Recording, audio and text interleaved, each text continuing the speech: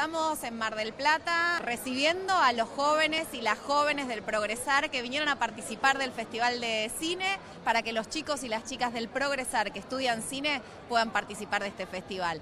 Muy emocionada porque además soy marplatense y el festival siempre nos emociona, es como un recreo en el medio de la cotidianidad, del laburo, de, bueno, de hacer las cosas de todos los días. Aparece el Festival de Cine y muchas personas vienen y son parte de este festival y se meten al mar. Así que para mí una doble emoción y bueno, con mucha expectativa de lo que va a ocurrir en estos días. Cultura, educación, el ANSES, los trenes. El tren está íntimamente vinculado al cine desde el comienzo de su historia y el tren nos trajo a todos estos jóvenes, también muy importante, de distintas provincias del país, de distintos lugares. Allí estaban los de Córdoba, los de Formosa, los que llegan de la Patagonia y yo sé que esto les cambia la vida a los chicos.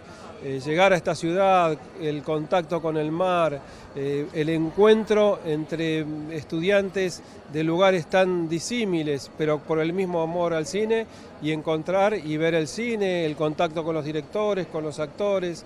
Así que seguro que es un verdadero momento que van a guardar para siempre en su corazón y que les va a servir fundamentalmente para su formación.